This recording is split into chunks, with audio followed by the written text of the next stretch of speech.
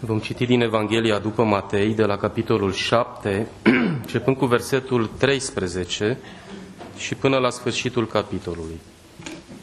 În Biblie, pagina 930, Evanghelia după Matei, capitolul 7, începând cu versetul 13.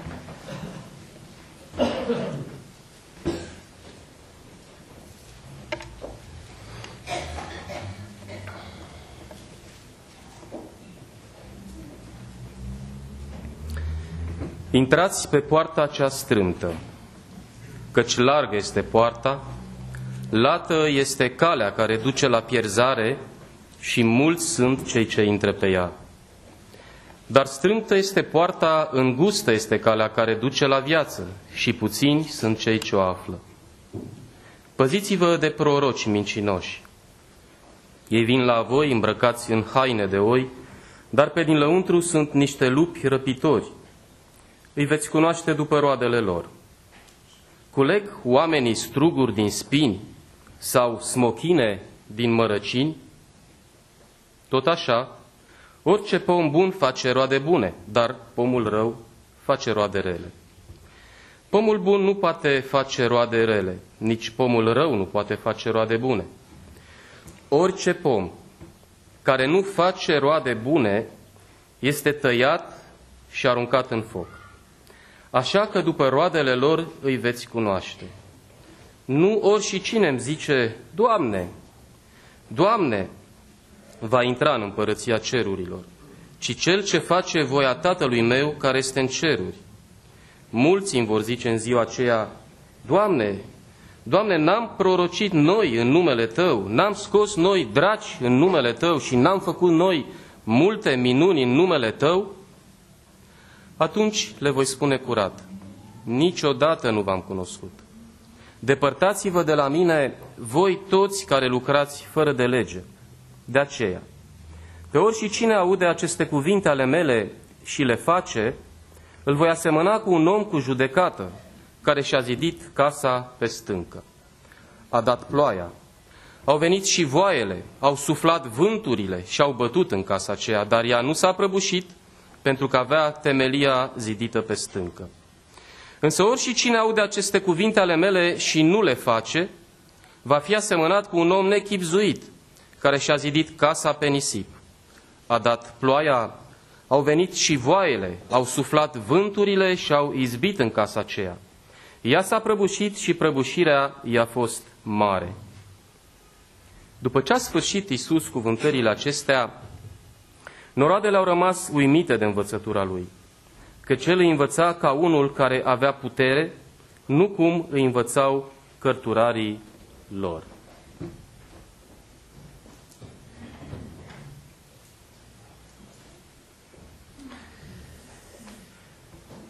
Probabil că pentru cei mai mulți dintre cei prezenți, textul acesta este foarte bine cunoscut. A fost lecturat măcar o singură dată Alții poate că l-ați auzit explicat în mai multe rânduri. Pentru unii este duh și viață, pentru alții este cuvânt de o sândă. Finalul acestui text, care reprezintă totodată și finalul predicii, așa zise, de pe munte, se încheie cu aceste cuvinte al evanghelistului Matei, care făcea diferența la vremea respectivă și o face și astăzi, între cuvântul care are putere și cuvântul care trece pe lângă oameni. De ce avea putere cuvântul rostit de Domnul Isus?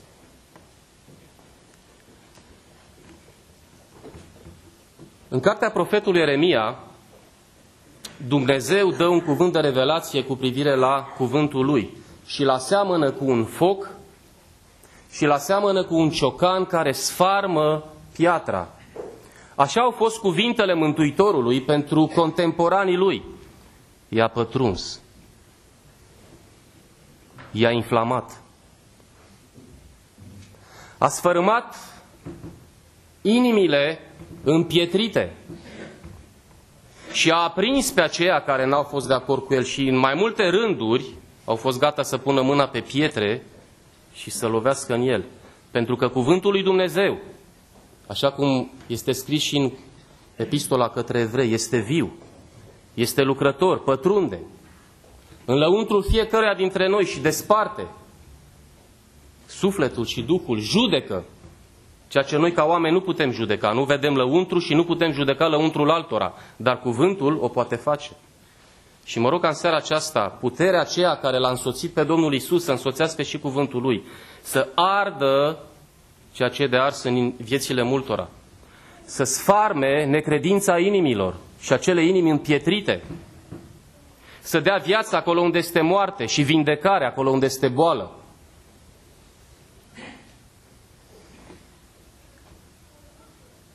Se spune aici despre o poartă strântă pe care este absolut necesar să intrăm fiecare dintre noi. Dacă vrem să mergem în împărăția lui Dumnezeu. Paragrafele acestea sunt strâns legate între ele.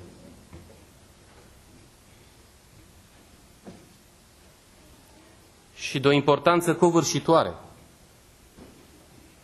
Este un cuvânt care la vremea respectivă i-a cercetat pe unii care se regăseau în această postură de a fi proroci pretinși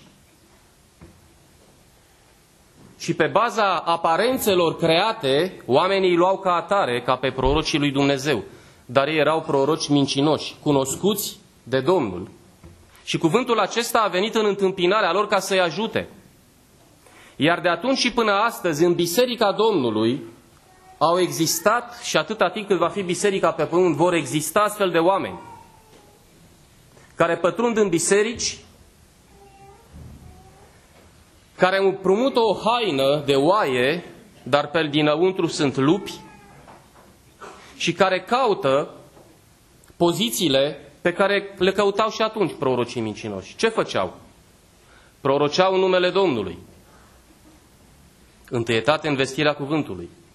Făceau minuni în numele Domnului și scoteau draci în numele Domnului. Spune ei aici, atunci când se vor înfățișa în ziua de judecată înaintea Domnului, pretenții cu care vor veni și pe baza cărora vor dori să intre în împărăția lui Dumnezeu. Mă gândeam pentru un om sincer care citește cuvintele acestea și care poate nu le înțelege. Așa cum majoritatea dintre noi când am citit pentru prima dată sau în perioada de început, când am citeam din Scriptură sau în perioada de început când am venit la adunare, n-am înțeles prea mult. Și ar dori cineva să știe ce înseamnă să intri pe poartă, dar de fapt, care este poarta? Dacă le citești doar în contextul acesta, este greu să înțelegi. Iar Scriptura spune că se tâlcuiește prin ea însăși, adică sunt alte texte care vin să aducă lămurire asupra acestora sau acesta aduce lămurire asupra altor texte și Scriptura se împletește prin ea însăși și aduce lumină în viața omului care îl caută cu sinceritate pe Dumnezeu. Domnul Iisus spunea și evanghelistul Ioan i-a sorbit cuvintele și le-a pus în scris, eu sunt ușa sau poarta, cum citim aici. Dacă intră cineva prin mine, va fi mântuit. Va intra, va ieși și va găsi pășune. Cum putem înțelege? Domnul Isus este ușa, adică este hotarul care desparte o existență trecută de una viitoare. O viață fără de Dumnezeu și o viață împreună cu El. Domnul Isus este hotarul și am cântat împreună cântarea aceea la cruce e hotarul țării. Acolo omul păcătos vine cu povara care o are în suflet din pricina păcatului la Domnul Isus, se așterne în cea mai meritorie poziție pe care o putem avea înaintea Lui, pe genunchi, se smerește înaintea Lui, acceptă că ce a făcut acolo Fiul lui Dumnezeu a făcut pentru El personal, mulțumește pentru această lucrare, se ridică și pleacă împreună cu El. Va intra înseamnă că va intra pe făgașul voii lui Dumnezeu, al ascultării de Dumnezeu. Va intra în împărăția lui Dumnezeu. Va ieși înseamnă că va lăsa în urmă o viață de păcat, o viață fără de Dumnezeu, o viață de neascultare de Dumnezeu. Și va găsi pășune este imaginea a ceea ce oile, când se duc pe pășune, sunt în elementul lor. Poți să le lași acolo, mănâncă în voie, le face bine, este substanța care le întreține viața. Vom găsi pășune ca și oile în noua viață împreună cu Domnul Isus. Spuneam într-o altă împrejurare despre această poziție umilă. Există în atletism probe de semifond și fond pentru care startul nu este atât de important și se ia din picioare, pentru că probele sunt atât de lungi încât cei care sunt antrenați pentru acestea au capacitatea să-și dozeze efortul și să recupereze pe parcurs un eventual start slab. În schimb, în probele de viteză, cele de 100, 200 sau chiar 400 de metri, este foarte important startul. Acolo este pus în evidență explozia musculară a sportivilor și pentru aceasta este nevoie de o altă poziție, nu din picioare, ci poziția din genunchi. Dacă vrei să intri pe această poartă strâmtă și să ai viața din Dumnezeu, acea viață care să te împlinească și din belșug, făgăduită, așează-te la start. Este cea mai bună poziție pe care să o iei înaintea Domnului. Pe genunchi. Și odată intrat pe această poartă strântă, te așteaptă o cale îngustă. De ce? Se spune că pe ea intră puțin. De ce? Să fie oare oamenii într-o asemenea măsură de neinteresați? Să nu intereseze pe cineva împărăția lui Dumnezeu? De fapt, cine delimitează îngustimea acestei căi? Dacă ai intrat pe poarta strântă, vei putea înțelege că dincolo de ea lași în spate o cale lată a celor mulți, a celor mai mulți, și calea aceasta îngustă este calea pe care Domnul ne-o trasează fiecăruia. Este calea ascultării. De aceea spune Domnul Isus mai departe, după ce arată un pic despre profeții mincinoși, că acești proroci mincinoși, ascunși între oi, cunoscuți pe din lăuntru ca lupi numai de Dumnezeu,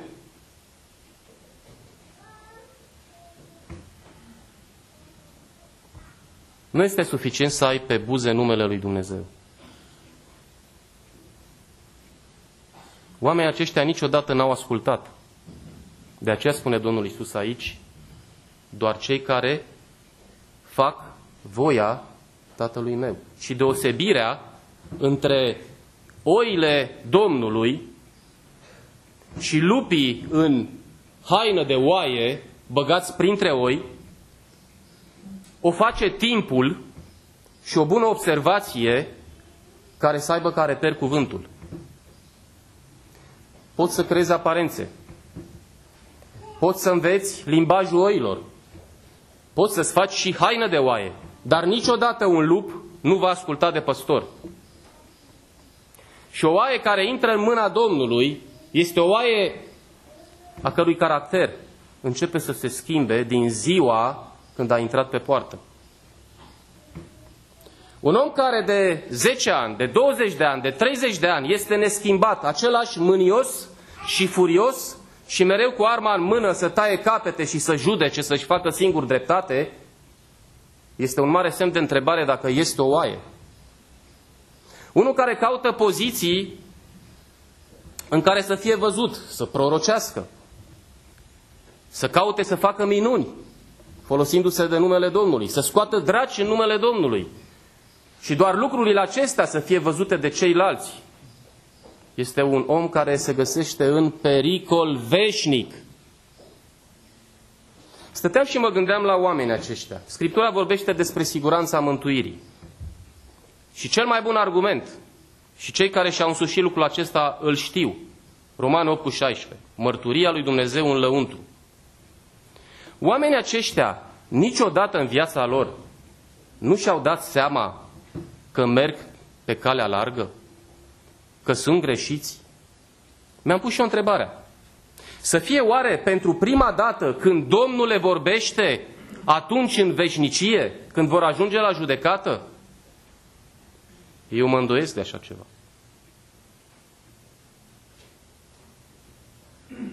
După cum omul mântuit are siguranță, omul nemântuit nu are nesiguranță. Numai că acești oameni s-au înșelat pe ei înșiși și au înșelat și pe alții, că pe baza ceea ce ei pot face, pot veni înaintea lui Dumnezeu și să pretindă accesul în împărăție. Și stăteam și mă gândeam, cum este posibil să scoți draci în numele Domnului și totuși să nu fii al Domnului? Eu n-am găsit în Scriptură un fundament pentru așa ceva. Ba mai mult. Domnul spune despre Duhul cel rău, când iese dintr-un om, se duce în pustie. Să caute o dignă. Ce o fi însemnând pentru un duh rău o dignă, nu știu să vă spun. Dar nu o găsește. Și și aduce aminte de unde a ieșit, zice, mă întorc acolo. Dar nu mă întorc singur. Mă duc să mai iau încă șapte duhuri mai rele. Și zice Domnul acolo că se întoarce și găsește casa aceea care înfățișează inima omului, împodobită, curățită, dar goală. Și am stat și m-am gândit. Putem noi să spunem cu certitudine despre o minune că vine de la Dumnezeu? Avem noi garanția aceasta? În Apocalipsa se spune despre niște minuni care se vor face într-o vreme viitoare prin puterea satanei și oamenii vor crede. Atunci când vorbim despre minuni, să fim rezervați. Este ceva de domeniul supranaturalului unde noi nu avem acces. Și noi nu putem ști de unde vine. Diavolul, dacă vrea să înșele pe cineva, privește în viitor poate chiar pentru o vreme să iasă și să dea impresia că omul acela a făcut minunea respectivă, pentru ca mai târziu să se întoarcă și să-l posede, să fie sigur de sufletul respectiv. Acolo unde inima este goală și nu este loc pentru Domnul Isus, poate să fie o schimbare în aparență. Evanghelia, atunci când ai contact cu ea, te schimbă, pentru că intri într-un mediu în care îți place să fii. Oameni schimbați cântări, așa cum n-ai mai făcut-o până atunci, rugăciuni. Și omul se poate găsi în acea situație arătată de Domnul Isus în pilda sămănătorului, când pământul este mic, pe un sol stâncos și răsare îndată. Câți n-au ajuns în adunări și când au auzit Evanghelia au fost cuprinși de un entuziasm nemai întâlnit până atunci. A fost o schimbare exterioară care a ținut până la o vreme, când a venit vremea încercării și s-a arătat de fapt ce este în lăuntru. Mulți s-au înșelat pe ei înșiși atunci când au crezut că au scos ei draci în numele Domnului. Domnul nu i-a contrazis. Sau că au făcut minuni. Uitați-vă la ce vremuri trăim astăzi. Se spune că în vremurile acestea de la urmă, oamenii își vor întoarce urechea la de, de la adevăr spre istorisiri închipuite. Și auzim în presă, la televiziune, la radio, citim în cărți despre tot felul de așa zise minuni. Lucrări făcute de mâna omului, care plâng, care vorbesc, copaci despicați în care se văd anumite semne și oamenii vin, minune mare se duc acolo. Și cine profită din asta? Cei care au creat minunile. Pentru că religia a fost din totdeauna un instrument al puterii și un instrument al beneficiului. Domnul Isus nu ne cheamă la așa ceva. Domnul Isus are în vedere ca niciunul să nu ajungă în ziua de judecată să audă aceste cuvinte din partea lui. Nici măcar acești proroși vincinoși au nevoie să fie treziți și aduși la viață. Stăteam și mă gândeam când cugetam la acest cuvânt și să fii în situația prorocului mincinos. Și tu o știi în lăuntru tău. Ce ți-ar conveni mai mult? Să auzi aceste cuvinte astăzi când ești încă pe pământ și mai poți striga la Domnul, Doamne, vreau să fiu și eu a Tău, să nu fiu condamnat. Sau să le auzi pentru prima dată atunci și să-ți dai seama că tot ce ai clădit în viață este zero. Toate valorile tale, în tot ce ți-ai pus încrederea, să-ți dai seama că nu este decât deșertăciune și că acolo vei fi în situația pe care o arată Domnul, că va fi plânsul și scrâșnirea dinților. Regrete eterne, pocăință eternă, dar fără mântuire. În ziua de judecată, toți oamenii se vor pocăi, dar atunci va fi prea târziu. Și atunci stai și gândește-te în tine însuți. Poate că ești în situația aceasta. Dumnezeu îți știe inima. Poate că te-ai amăgit până acum și ai amăgit și pe alții. Domnul îți știe inima. Trezește-te, suflete. Nu te juca cu veșnicia, cu sufletul tău. Poate să vină acum un cutremur și pământul de sub noi să se ducă. Unde te vei duce? Înaintea Domnului, cu siguranță. Și vei auzi, fie bine ai venit, cum s-a terminat cântarea care am cântat-o, fie aceste cuvinte. Niciodată nu te-am cunoscut. Domnul Iisus le vorbea unor oameni și tot Apostolul Ioan surprinde lucrul acesta despre conlucrarea lui cu Tatăl Său și Dumnezeul nostru. Și le spunea El, vorbea despre El ca fiind pâinea vieții. Sărmanii știau și ei ceva despre pâinea pe care le-a dat-o Dumnezeu generațiilor din urmă. Și Domnul le zice, nu va da Moise adevărata pâine. Adevărata pâine este aceea pe care vă dă Tatăl meu și care vă dă viața. Eu sunt pâinea vieții, eu m-am coborât din cer ca să vă dau viața. Și spune el, tot ce îmi dă Tatăl va ajunge la mine. Și dacă s-ar fi oprit aici, am fi zis, e numai treaba lui Dumnezeu. Dar Domnul Iisus vine și continuă cu partea noastră a fiecăruia și pe cel ce vine la mine nu-l voi izgoni afară. Ai vrea, suflete drag, să fii izgonit ca și oamenii aceștia? Să vii înaintea Domnului și să spui, dar am mers și eu într-o adunare, dar am citit și eu din cuvânt, chiar am predicat, am fost martor poate chiar când au fost oamenii liberați de duhurele. Și totuși Domnul să spună, niciodată nu te-am cunoscut.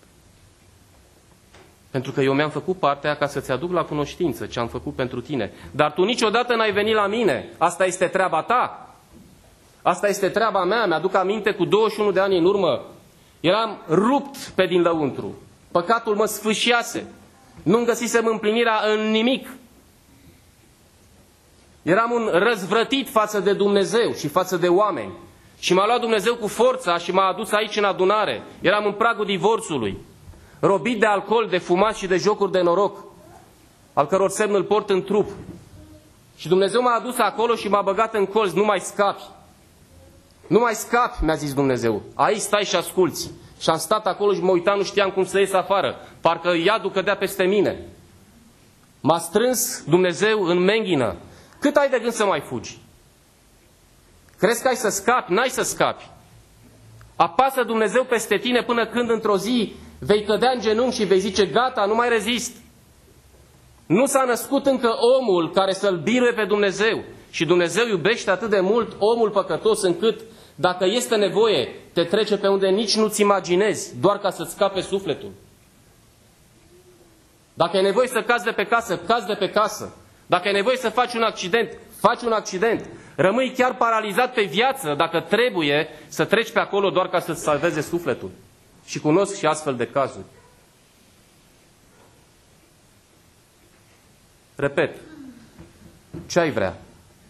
Aceste cuvinte îmbrăcate de puterea Duhului lui Dumnezeu, astăzi să-ți sfâșie inima, astăzi să ardă tot ce ai clădit și este în inima ta, astăzi să-ți farme necredința din inimă și să fii gata să te predai Domnului, pentru că încă ți-a mai dat o șansă sau vrei ca aceste cuvinte să le auzi în veșnicie când fi va prea târziu? Scriptura spune că Dumnezeu este un foc mistuitor. Și se, da, se va dovedi lucrul acesta pentru toți în veșnicie, în ziua de judecată. Cartea Apocalipsa arată cum va fi atunci. Când oamenii care pe pământ au respins adevărul, l-au respins pe Domnul, au respins chemarea la mântuire, șansa pe care Dumnezeu ne dă fiecăruia. Li se vor deschide niște cărți și tot filmul vieții le va fi pus sub ochi. Uitați-vă cât de limitați suntem noi în privința aceasta. Avem memorie, este din Dumnezeu, dar este limitată. Sunt unii care pot să memoreze cărți întregi, dar și ăia au o memorie limitată. Și sunt lucruri pe care le uităm. Este absolut normal. Fiind limitată, dacă nu se șterge ceva, nu poate intra altceva. Dar la Dumnezeu, toate lucrurile sunt reținute. Viața, purtarea, chiar și gândirea. Și spune Scriptura că și în privința gândurilor vom da socoteala, cuvintelor fără de folos, nefolositoare pe care le-am rostit când trăiam pe pământ. Totul va fi pus sub ochi. Și ziua de astăzi.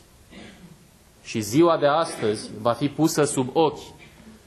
Dar vreau să-ți spun, suflete iubit, că dacă vrei să scapi de judecata viitoare și de mânia focului dreptății lui Dumnezeu, astăzi poți să rezolvi această problemă, așa cum stai pe scaun. Domnul Iisus spunea că cine aude cuvintele mele și crede în Cel ce m-a trimis, are viață veșnică și nu vine la judecată, ci trece din moarte la viață.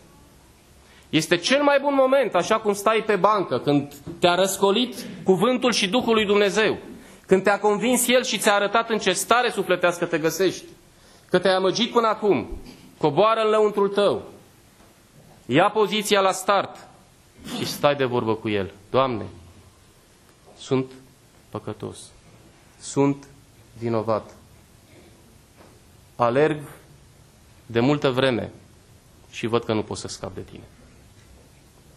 M-ai chemat de mic și te-am respins. M-ai chemat în atâtea rânduri și te-am respins.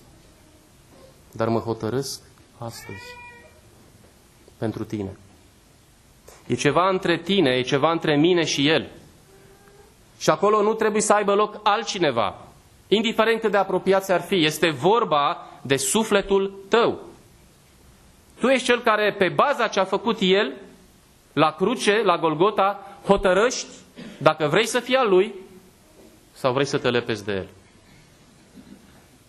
Dar trebuie să știi bine, să înțelegi acest adevăr pe care ni l-a pus astăzi înainte el prin cuvânt. Că dacă astăzi te dezici de el